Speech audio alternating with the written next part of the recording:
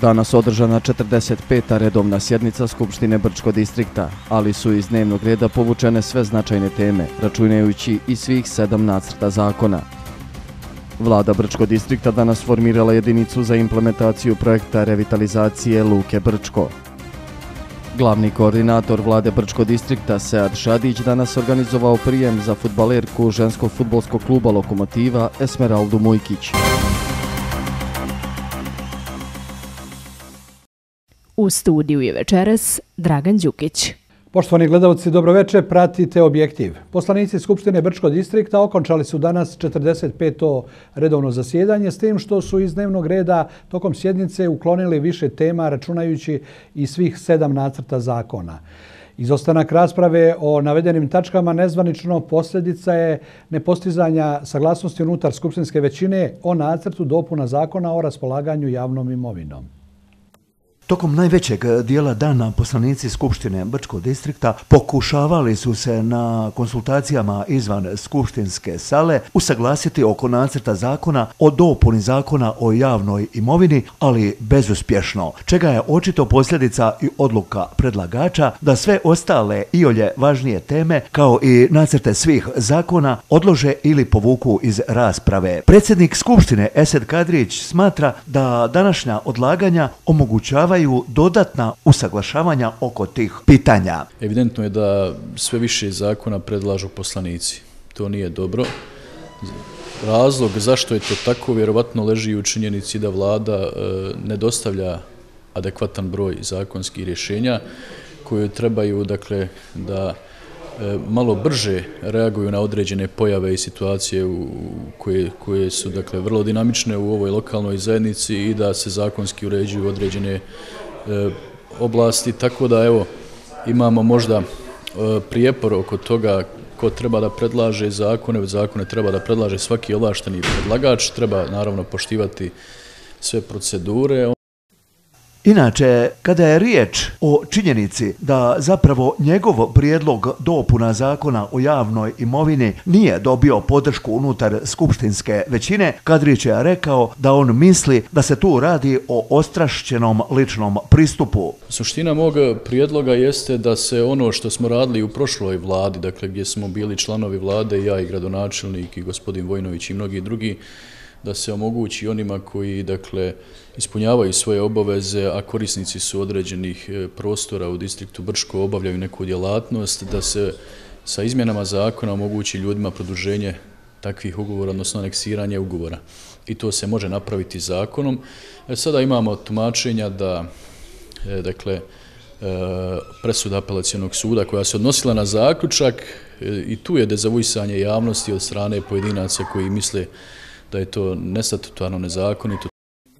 To je sasvim ispravna stvar, rekao je predsjednik Skupštine i dodao da sud upućuje da se to reguliše zakonom o javnoj imovini. Kadrić je također izjavio da problem po njegovom mišljenju može biti i to što gradonačelnik direktnim sporazumom može dodijeliti značajne vrijednosti koje eventualno mogu imati i elemente korupcije. Gradonačelnik Siniša Milić međutim smatra da bi Brčko distrikt morao imati takav zakon o javnoj imovini koji će na transparentan način urediti pitanje raspolaganje javnom imovinom kao najvažnijim resursom ove lokalne zajednice. Vlada priprema novi nacrt zakona o javnoj imovini koji bi na sjednici vlade trebalo da bude najduže u roku od mjesec dana i da naravno koliko dobije podršku eh, članova vlade kao takav bude upućen i skupšteni na razmatranje. Ja naravno nisam za neka ad hoc rešenja Dakle, zakon i ukoliko se i kad bude donesen će zadržati one osnovne konture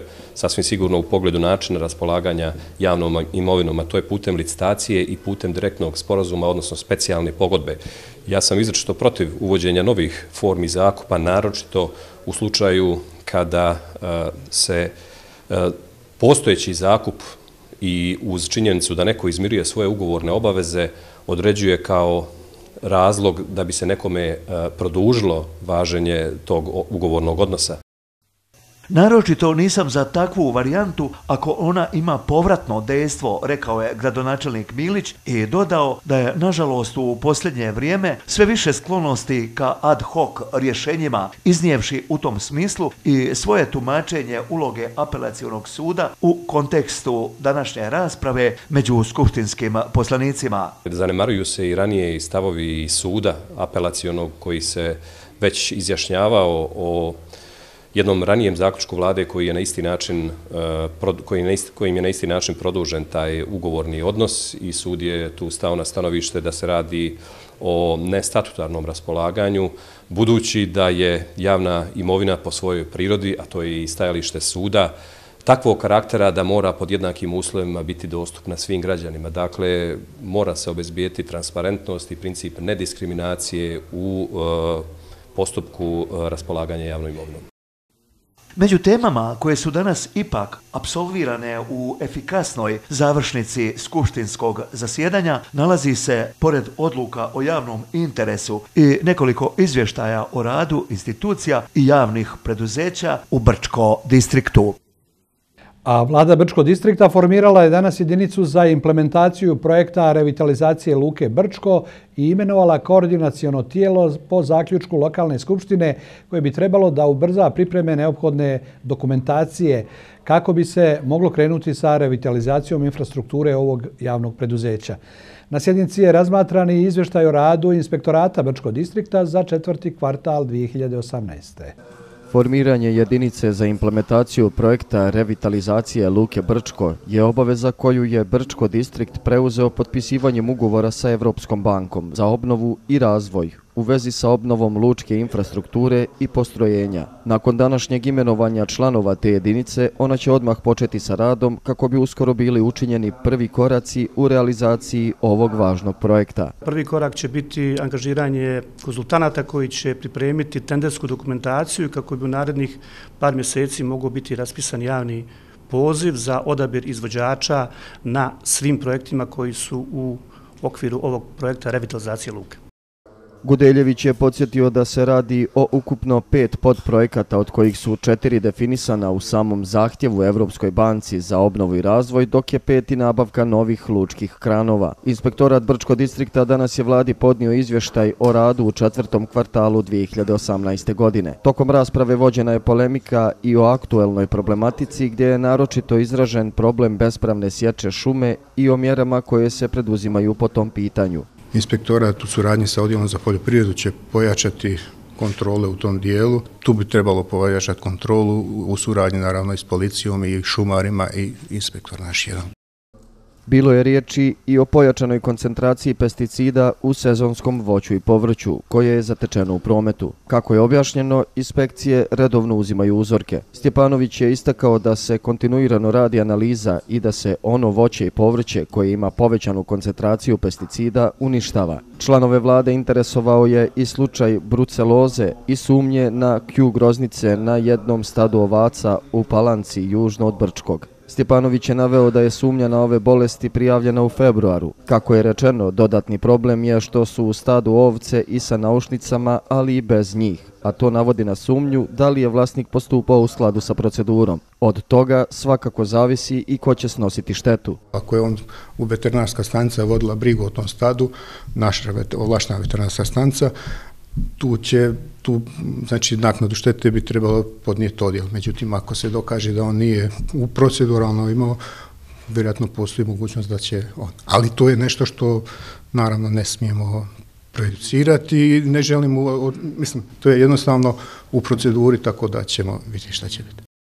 Kompletno stado je stavljeno u karantin, a veterinari i inspekcija rade na utvrđivanju stanja i uklanjanju bolesnih životinja. Juče je uzeto 260 uzoraka krvi koji su poslane na test na Q groznicu. Stjepanović je napomenuo da za sada ne postoji opasnost po stanovništvo, jer su ovce izolovane dovoljno daleko od naseljenog mjesta.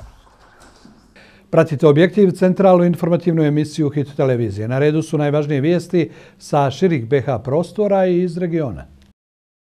Predsjednici HDZ-a Dragan Čović i SDA Bakir Izetbegović izjavili su danas nakon sastanka u Mostaru da narednih dana počinju razgovori o raspodjeli resora u Savjetu ministara. Izetbegović je naveo da će već iduće sedmice biti održan sastanak u formatu SNSD, HDZ, SDA. Umeđu vremenu ćemo imati sastanke o podjeli resora. Idemo korak po korak. Ostaće neprecizno definisano pitanje aktivacije akcionog plana za NATO. Nadam se da ćemo i zato iznaći rešenje rješenje da ćemo formirati savjet ministara i izbjeći krizu, izjavio je Izetbegović. On je rekao da kada je riječ o federalnom nivou, HDZ insistira da se jasno i precizno definiše rješenje izbornog zakona Bosne i Hercegovine koje bi ispoštovalo odluku Ustavnog suda.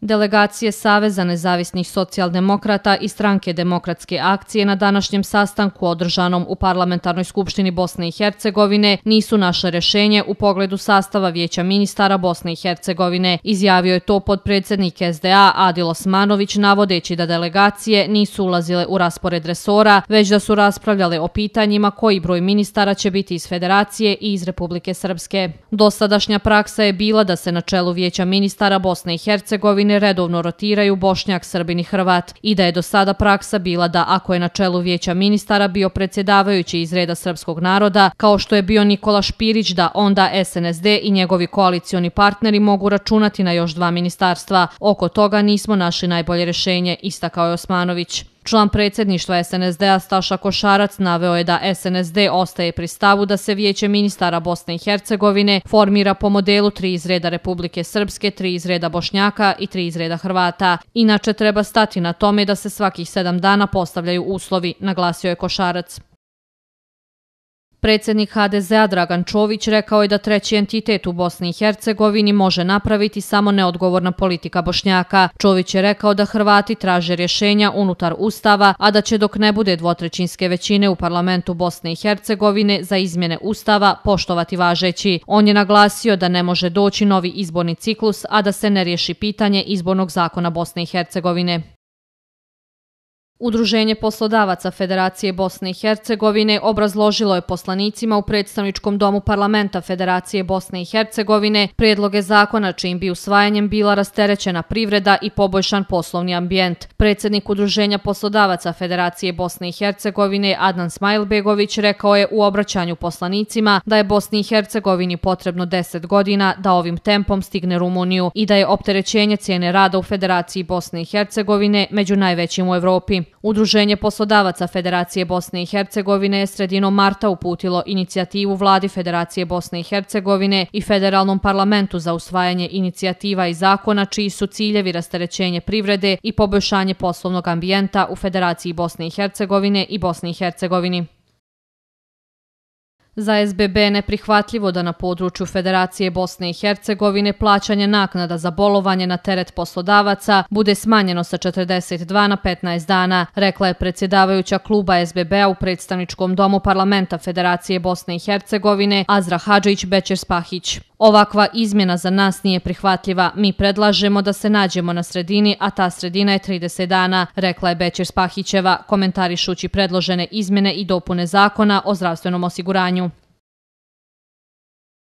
U Bosni i Hercegovini se još nalazi od 75.000 do 80.000 mina na 2% cijele površine, pri čemu je ugroženo pola miliona stanovnika. Rečeno je danas na sastanku zamjenika ministra odbrane Bosne i Hercegovine Seada Jusića sa predsjedavajućim konvencije za zabranu protiv pješadijskih mina Hansom Bratskarom i ambasadorom Norveške u Bosni i Hercegovini Guri Rusten. Gosti su naglasili da konvencija za zabranu protiv pješadijskih mina precizira da zemlje potpisnice do 2025 godine budu bezbjedne od mina, saopšteno iz Ministarstva odbrane Bosne i Hercegovine. Pokušaj dogovora s ciljem deblokade reakreditovanja Univerziteta u Banja Luci i Istočnom Sarajevu propao je danas u Sarajevu jer direktor Agencije za razvoj visokog obrazovanja i osiguranje kvaliteta Bosne i Hercegovine Enver Halilović nije dozvolio upis javnih univerziteta iz Republike Srpske u registar Bosne i Hercegovine, iako je akreditaciju obavila Agencija za akreditaciju visokoškolskih ustanova Srpske. Direktor Agencije za akreditaciju visokoškolskih ustanova Republike Srpske Biljana Vojvodić Izjavila je Srni da nije bilo napretka na sastanku u prostorijama delegacije Evropske unije u Bosni i Hercegovini, kojem je prisustvovao i Halilović. Direktor agencije na nivou Bosne i Hercegovine i dalje insistira na svom nezakonitom rješenju i nije spreman da uvaži preporuku komisije stručnjaka i komisije iz njegove agencije koja je također preporučila da budu akreditovani studijski programi i visokoškolske ustanove, rekla je Vojvodićeva. Glavni koordinator vlade Brčko distrikta Sead Šadić danas je u svom kabinetu primio 22-godišnju futbalerku ženskog futbalskog kluba Lokomotiva iz Brčkog Esmeraldu Mujkić. Esmeralda je kao učesnica specijalne olimpijade u Abu Dhabiju u ženskom futbalu igrala za reprezentaciju Bosne i Hercegovine i osvojila zlatnu medalju. Esmeralda Mujkić je 22-godišnja futbalerka iz Brčko koja je ove godine igrala za reprezentaciju Bosne i Hercegovine na specijalnim olimpijskim igrama u Abu Dhabiju, gdje je ostvarila izvanredne rezultate i kući ponijela zlatnu medalju. Glavni koordinator Brčanske vlade Sead Šadić naglasio je da je Esmeraldin uspjeh vrijedan pažnje, te da je potrebno početi sve više pozitivno afirmisati razvoj ženskog futbalskog kluba. Što posebno za nas predstavlja jedan pozitivnu priču iz Brčkog distrikta, a posebno se radujemo što je ovo po prvi put olimpijska medalja došla u našu lokalnu zajednicu. Naravno, nije prvi put e, za Bosnu i Hercegovinu da da li u pojedinačnim ili ekipnim e, sportovima to bude, ali mislim da za Brčkog distrikt Bosne i Hercegovine rezultat koji je naša sugrađanka ostvarila je jako pozitivan i svakako vrijedan pažnje koji treba pozdraviti. Esmeraldi je ovo drugo učešće na specijalnoj olimpijadi. Prije četiri godine takmičila se u Los Angelesu gdje je njen klub osvojio četvrto mjesto. Prije svega ostao je žal za tu medalju iz Los Angelesa jer smo bili na korak do medalje. E, prije samog puta u Abu Dhabi svima sam rekla ja idem po medalju i ne vraćam se bez medalje i to se zaista ostvarilo, mada zadnja utakmica u finalu je bila zaista teška, teška gdje smo od Finske gubili 5-1 na polu vremenu, ali naravno Bosanski inat je proradio i mi smo na kraju pobijedili. Predsjednik Brčanskog ženskog futbalskog kluba Lokomotiva Boro Tošić istakao je da svačiji uspjeh za klub znači mnogo, ali da je za sada Esmeraldin uspjeh najveći. Što se tiče Esmeralde, to je djevojka, dama koja svoje rezultate postiže i u sportu, a i u privatno. Sportista koji je prošao sve selekcije u, u reprezentaciji, učesnica dvije olimpijade, na kraju, evo, kruna svega je ova zlatna, olimpija, zlatna olimpijska medalja. Nama je to ogromno. Mi smo svjesni toga i ponosni smo na to. Na specijalnim olimpijskim igrama u Abu Dhabiju, iz kojeg je Esmeralda donijela kući zlato, bilo je oko 7.500 učesnika i 192 zemlje. U Brčanskom savskom pristaništu danas se ukotvio kruzer Princezin Sisi sa oko 70 turista, uglavnom iz Austrije. Oni će u Brčko distriktu ostati dva dana, a nakon toga će da nastave Savom do Županje. Dalje neće moći rijekom jer im nizak vodostaj to onemogućuje, ali će od Županje autobusom obići Slavoniju i sve do Zagreba. Prvi dan u Brčkom oni su iskoristili za posjetu Franjevačkom samostanu Dubrave i srednjovjekovnom arheološkom nalazištu Zidine, nedaleko od samostana. Ručali su u brodskom restoranu, ali će večerati u nekom od brčanskih koji im daju najzanimljiviju gastronomsku ponudu. Ovo je još jedan argument da Brčko napokon treba da se okrene razvoju i sistematizaciji turističke ponude od uređenja istorijskih građevina pa do gostoprimstva. Menedžer broda Zoran Milić kaže da u Brčkom ovi ljudi znaju veoma malo ili gotovo ništa, te je veoma važno kakav će utisak steći za ova dva dana radi njih samih, ali i radi, preporuke, radi preporuka drugima. Dakle, ovo su elitni turistički e, putnici koji žele da upoznaju što je moguće bolje grad u kome su pristani i upravo e, je to, kažem, inspiracija i nas u vladi da radimo na tome da budemo što bolji. Tom prilikom smo mi i uprilični jedan interesantan upitnik e, na način kako su e, i koliko znaju uopšte o Brčko distriktu prije ovog prvog svog putovanja, e, kakve su im ocjene i procjene onoga što su vidjeli i šta su očekivanje. Upravo to će nam biti putokaz za upravo ovu nautičko-turističku priču. Pa vrlo je bitna saradnja. Ako grad ima nešto da ponudi, nije to samo u ponudi reč, nego sama ta kultura kada brod negde pristaje, e, ljudi se drugačije odnose prema samim e, turistima koji e, dolaze tu. Na, naravno, kada je turistička organizacija u pitanju, prisna saradnja je uvek bitna, zato što um, oni znaju tačno gde putnici, gde putnici mogu da ode i koja mesta mogu da, da posete. Da li su to manastiri, crkve, da li su to spomenici, planine, prirodni rezervati i slično. U Bijeljini od početka godine gradske ulice nisu oprane, a u gradskoj upravi za ovaj problem krive tendersku proceduru i javne nabavke. Nadaju se da će izbor najpovoljnijeg ponuđača za ovaj posao uskoro biti okončan. Do tada samo će kiša povremeno da sapira ono što se na asfaltu mjesecima skuplja.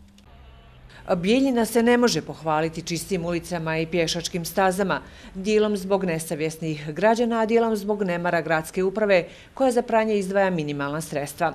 Stiglo je proljeće, a gradske ulice još uvijek vape za mlazom vode. Građani ne kriju ogorčenje zbog ove situacije i smatraju da grad mora hitno riješiti ovaj problem. Nisu uopšte, Bijeljina je prljava strašno. Pogledajte samo ove, ove stance, autobusne stance gdje se naljepnice mnoge meču, to niko živ ne čisti. A kad krenete malo u, u, u sporedne ulice, pa to je užas, ne možete proći od smrada. Samo se čisti ovaj centralni dio. Ne peru se nikako. Ja nisam nikad vidio da je neko opruo. Dva, tri puta ugadne sam. Da li ste zadovoljni čistoćom grada? Pa šta, slabo, nije nešto. Ne peru uopšte. Ne možete proći gradom. Prljavo. U preduzeću Komunalac, koje je prošle godine radilo na održavanju ulica, kažu da je raspisan tender i da će gradska uprava za ovu godinu izdvojiti 30.000 konvertibilnih maraka u te svrhe. Direktor ovog preduzeća Milenko Vićanović kaže da nalog za pranje ulica izdaje odjeljenje za stambeno-komunalne poslove, po kojem oni i obavljaju taj posao. E, prošle godine ja mislim da je to bilo oko 7-8 puta u, u, u toku godine i uglavnom se to obavlja po potrebi. Međutim, ove godine je veći tender naravno i bit će češće pranje ulica. I ja se, ja se nadam da će sljedeće sedmice znači biti i prvo to pranje ulica u ovoj godini. Vićanović tvrdi da se gradske ulice čiste svakodnevno, čak i vikendom. On kaže da će uskoro biti nabavljena i jedna čistilica. Trenutno oko 15 radnika bavi se baš čišćenjem, imamo čistača. Međutim, ove godine planiramo da nabavimo jednu mini čistilicu koja će da čisti centar, baš uzi centar, tako da ostali radnici mogu da, da, da više čiste e, drugi dio grada, odnosno ne centar, nego periferije grada bije. U preduzeću Komunalac već imaju planove za sljedeću godinu. Planirali su nabavku velike čistilice. Oni se nadaju da već sljedeće godine neće biti nikakvih problema s čišćenjem gradskih ulica. U Šamcu je u organizaciji kluba istoričara Posavine održano predavanje vizatologa e, Radivoja Radića pod nazivom Klio se stidi. To je ujedno i naslov Radićeve knjige u kojoj se autor bavi pseudoistoričarima i falsifikovanjem istorijskih činjenica. Vizantolog Radivoje Radić smatra da je istorija jedna od najviše zloupotrebljenih nauka, da pseudoistoričari koji falsifikuju istorijske činjenice i prezentuju ih javnosti nanose štetu nacionalnom identitetu. On je naglasio da na balkanskom prostoru ima mnogo primjera izmišljanja istorije i da je to veliki problem protiv kojeg se treba boriti. Najjednostavnije je da se pišu pristupačne lagane knjige zasnovane naučnim činjenicama jer e, šira publika teško da možete čita velike sinteze sa kritičkim aparatom e, i znači treba i praviti emisije radiju, televiziji pogotovo, nekad se to radilo više nego danas, nažalost, možda zbog financija, i boriti se protiv pseudoistorije, jer ona donosi veliku štetu, nažalost, narodima koji su joj podlegli. Svi narodi sa velikom i bogatom istorijom imaju problema sa pseudoistorijom, naglašava najpoznatiji srpski vizantolog, naglašavajući da je ona, nažalost, postala dio svakodnevnog života. Živimo u vreme kada je počelo da se više veruje u nadre lekarstvo, okultizam, teoriju zavere i razne pseudonaučne ovaj, e, teorije, e, tako da nije lako da se ni snaći se, pogotovo što su te, te da kažem, istine koje nam podastiru pseudoistoričari lepše nego one što, što istoričari e, daju.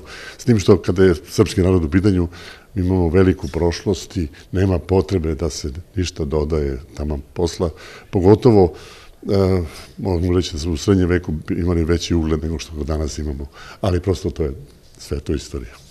Radić je naglasio da pseudoistoričari često nisu po struci istoričari i nemaju dovoljno znanja, zbog čega poručuje prije svega mladim generacijama. Uvijek kažem mislite svojom glavom, jer tu sada imamo, uh, na jednoj strani imate istoričare od zanata koji pišu, predaju na fakultetima, rade u institutima, a na drugoj strani imate te pseudoistoričare koji su našli na društvenim mrežama plodno tle A mladi ljudi iz kluba istoričara organizovali su dolazak profesora Radića. Poručuju da će se boriti protiv pseudoistorije i da će se potruditi da Klio, muze istorije, nema razloga da se postidi na ovim prostorima. Kao mladi istoričar e, želim da ovom temom Klio se stidi, pokažem da e, Klio ne treba da se stidi, da mi radimo na tome da e, se izučava istorija ona koja treba da postoje, odnosno da se izučava prema određenim metodama i načinama, a ne da učimo ono što pričaju ljudi koji nisu od tog zanata. Radivoj Radić, redovni profesor Filozofskog fakulteta u Beogradu i šef katedre za vizantologiju. U naučnim krugovima se smatra najboljim poznavaocem porodičnih odnosa u vizantijskom i srpskom srednjovjekovnom periodu.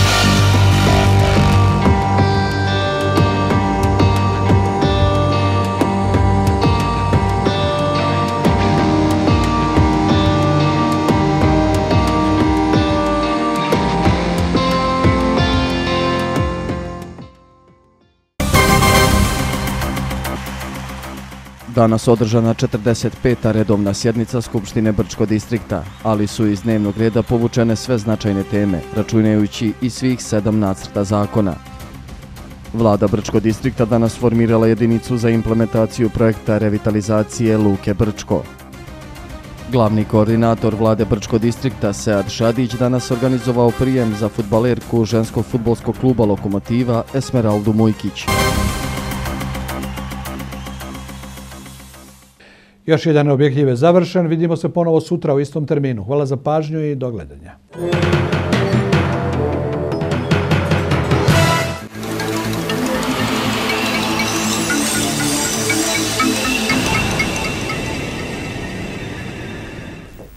Dobroveče, poštovani gledaoci. 10. aprilskog dana u našoj zemlji bilo je dužih perioda sa sunčanim vremenom u prijepodnevnim časovima – Duvao je uglavnom umjeren južni vjetar, na momente pojačan. Kiša je registrovana u južnim, zapadnim i sjevernim područjima, a temperatura se približila 23. podeljku na Celzijusovoj temperaturnoj skali, koliko je danas izmjereno u Bijeljini i našem gradu. U ostalim gradovima Bosne i Hercegovine bilo je hladnije u prosjeku za čak 5 do 7 stepeni.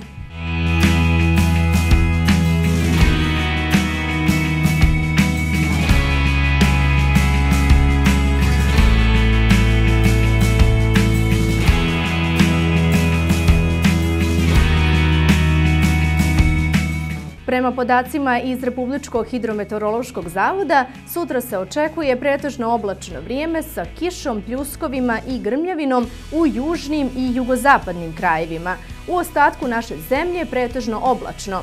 duvaće umjeren vjetar južnog smjera, na momente pojačan, uz jutarnje temperature vazduha, uglavnom u intervalu od 3 do 8 stepeni i dnevne od 12 do 18 stepeni Celzijusovih.